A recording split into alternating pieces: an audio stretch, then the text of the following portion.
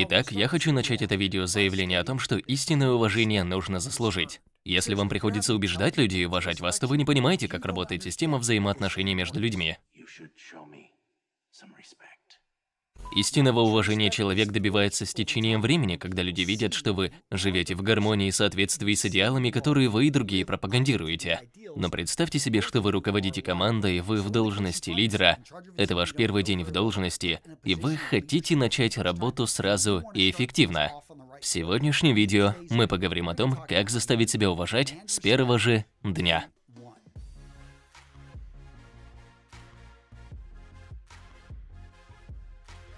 В детстве я любил историю, любил биографии, и мне нравилось учиться на примере других. И одна из моих любимых цитат звучала так: "Лучше промолчать, рискуя, что тебя сочтут дураком, чем открыть рот и развеять в этом все сомнения". В подростковом возрасте я считал себя интровертом. Мне нравилась эта цитата, потому что в ней говорится о том, что я очень хорошо умею делать. Войти в комнату и ничего не говорить другим людям, позволяя им принимать решения насчет себя, основываясь на визуальных сигналах, которые вы им показываете, но при этом не говорите ни слова. Если вы не будете ничего говорить, люди составят себе о вас мнение на основе того, что видят. И мы на этом канале просто затираем до дыр темы о важности стиля, подачи себя, своего образа, своей одежды, потому что первое, что видят люди, это как ваша одежда подходит вам, как вам идет цвет одежды, какой у вас стиль. У каждого есть свое представление об успехе. Мы все представляем себе, как выглядит пожарный, верно?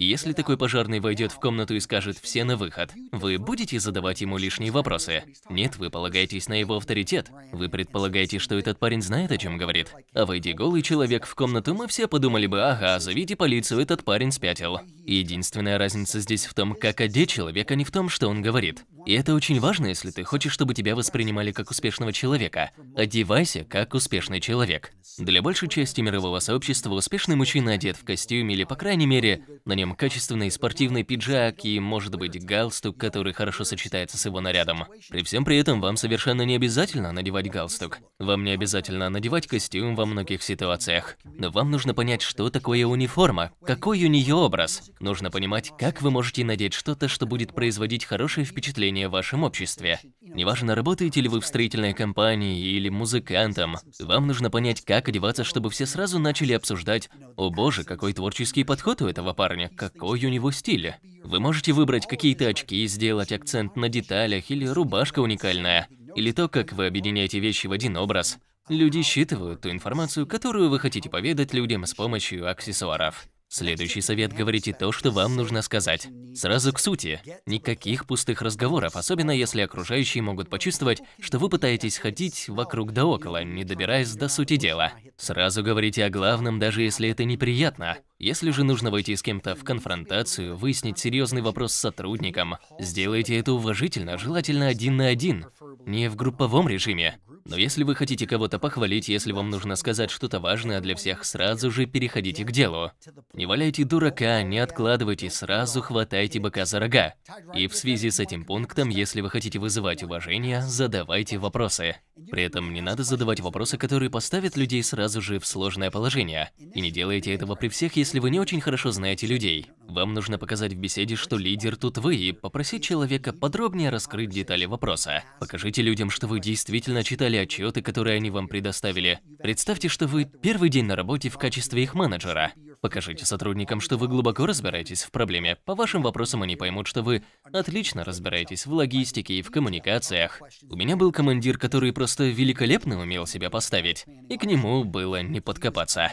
Он досконально знал работу других, и те, например, офицеры снабжения или С-4, которые думали, что он мало что понимает в их работе, внезапно осознавали, что он прекрасно разбирается в вопросах снабжения, потому что сам в свое время работал в этой сфере.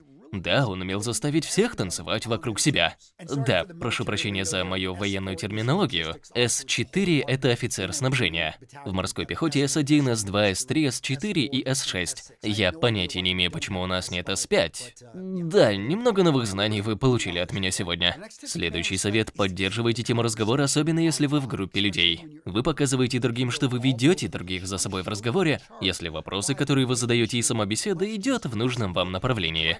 Знаете, как бывает, в разговоре вдруг кто-то завладевает вниманием других и поверхностно затрагивает разные темы. Поэтому в группе с осторожностью выбирайте спикеров. Вы можете сказать, да, это интересная тема, но давайте вернемся к предыдущей теме. Такая позиция показывает вас как человека, который держит бразды правления, который проявляет себя как лидер. Следующий совет, он очень важен в групповом разговоре, не позволяйте никому себя прерывать. Часто одни парни прерывают других, а также женщин. Спросите-ка у женщин из вашего круга, что они скажут. Когда мы, парни, бываем заволнованы, мы хотим вскочить и что-то сказать, и прерываем других. И это может быть привычкой, о которой мы даже не догадываемся. Тут фишка в чем? Если кто-то перебивает вас, он заставляет вас выглядеть слабым, как будто вы не главный на совещании.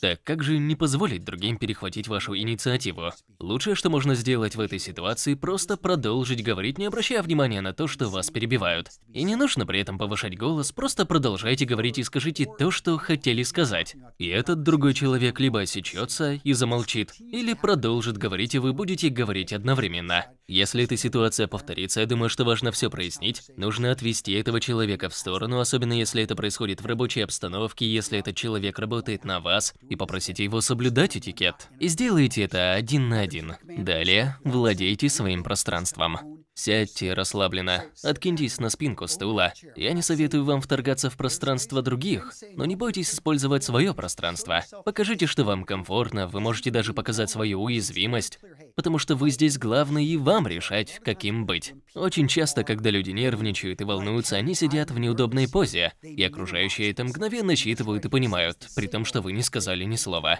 Так что не бойтесь полностью завладеть своим пространством. Далее у нас сигналы, которые мы передаем руками, жестикуляция. На протяжении этого видео я вовсю жестикулировал, и это действительно важно, если вы интроверт. Если вы мало говорите, не бойтесь жестикулировать. У меня недавно был звонок по зуму. Так вот, поднимайте руку вверх, если вам нужно что-то сказать. Не вытягивайте руку высоко, как будто просите разрешения, а просто приподнимите руку ладонью вверх. Так вы показываете другим, пожалуйста, потише, мне нужно сказать что-то важное. Я в любом случае собираюсь выступить, но когда я делаю этот жест, я показываю другим, ребята, мне есть что сказать. Так вы просите других замолчать. Попросить помолчать может прозвучать грубовато, а вот жест все объяснит без слов. А если атмосфера накалится, буквально люди начнут размахивать кулаками. Надеюсь, на работе такое случается не часто, но это может случиться. Может случиться в определенной среде, например, в строительных компаниях. Люди могут устать, у них может быть стресс. На такие вещи не надо реагировать. Но они будут наступать на вас, они будут орать, они будут говорить на совершенно другом уровне. А вам надо вести себя спокойно, показывая, что вы полностью контролируете ситуацию, что вы не поддаетесь на провокации. Вы просто смотрите на этих людей и взаимодействуете с ними на своем уровне. При этом не следует смотреть таким людям прямо в глаза, это может привести к конфронтации. Чтобы сгладить конфликт, смотрите вниз. Вы можете смотреть в сторону, если хотите показать им, что да, вы видите, что эти люди охвачены эмоциями, но вы сами не собираетесь принимать в этом участие. Вы показываете, что они не могут вовлечь вас в свою орбиту. Вы должны тратить свою энергию только на то, что считаете нужным. Используйте этот язык тела, показывающий другим «тут я лидер, я, может быть, обращу внимание на вашу истерику, а может и нет». Все это сказано просто языком вашего тела, когда вы не реагируете на провокации и не попадаете на крючок. Чтобы избежать нарастания конфликта, одно из лучших решений в этой ситуации – это дать другим понять, что вы уважаете их позицию, уважаете их должность. При этом вы не теряете уважения к окружающим. Вы говорите этим людям, что уважаете их позицию, понимаете их точку зрения, возможно, их требования справедливы. Тогда эти люди чувствуют, что их поняли, что их уважают, и они начинают сами, в свою очередь, хотеть выслушать вас и вашу точку зрения. Вы должны собрать людей в одну команду. Если вы новичок, новый руководитель, вы отвечаете за людей, которых пока плохо знаете, и к вам в начале доверия не так велико. Но когда вы им покажете, что вы провели свои исследования, и вы изучили вопросы, вы уважаете сотрудников, и вы готовы выслушать их, когда вы показываете, что вы открыты к обсуждению, вы создадите атмосферу доверия и уважения. Это создаст нужный эффект, даже если они с чем-то не согласны. Если вы не согласны с кем-то, это нормально. И вам совсем не надо извиняться за то, что вы с кем-то не согласны. Много людей попадают в эту ловушку, когда они говорят «Знаете, что именно?» «Извините, прошу прощения». Может быть, им кажется, что они говорили что-то, что задело другого человека, его чувства. Они извиняются, когда не должны этого делать. Я не имею в виду, что вы не должны извиняться за свою неправоту, если знаете, что ошибаетесь. Но если вы не ошибаетесь, если вы не согласны с человеком в каком-то вопросе и чувствуете, что «так, ребята, тут у нас, кажется, сильные разногласия», за это извиняться не стоит. Вы очень четко доносите свою точку зрения, вы показываете, что понимаете точку зрения другого человека. Но, может быть, другой человек упрям как осел и не собирается выражать свое уважение вам. Но если вы разговариваете с группой людей, у которых адекватное поведение может быть не у всех, но все же большинство будет вас уважать. Следующий пункт кажется довольно нелогичным, но вы должны проявлять честность, когда чего-то не знаете, когда у вас есть какая-то слабость, когда вы потерпели неудачу. Дело в том, что, как я уже ранее говорил, люди отлично умеют распознавать какую-то чушь. Если вы попытаетесь обмануть людей ложной информацией, вы можете испортить с ними отношения, они перестанут вам доверять. Но если вы честно говорите, «Ребята, я не знаю ответа, у меня нет опыта в этой области, это мое слабое место». Например, «Да, вы знаете, у меня была проблема на прошлой работе в компании. Может быть, кто-то, так или иначе, люди узнали, поползли слухи. Да, тот проект провалился. Да, это так, и я ничего не могу с этим поделать. Мы многому научились на ошибках, но компания разорилась. При этом я не умалчиваю об этом и открыто говорю. Вы сами обезоруживаете других, и эту информацию уже не могут использовать против вас. Вы как будто уже обезвредили бомбу. Знаете, многие молодые лидеры и руководители пытаются казаться такими непогрешимыми, как будто им нельзя ошибаться. Они думают, что люди последуют за лидером только в том случае, если он знает ответы на все вопросы. Вполне нормально не знать ответов на все вопросы. Будьте честны и покажите, что вы тоже живой человек. Что ж, господа, какое видео порекомендовать вам следующим номером? Ну а как насчет того, как президент Зеленский дает в Украине мастер-класс по лидерству? Меня это вдохновляет, и я думаю, что многие могут многому научиться.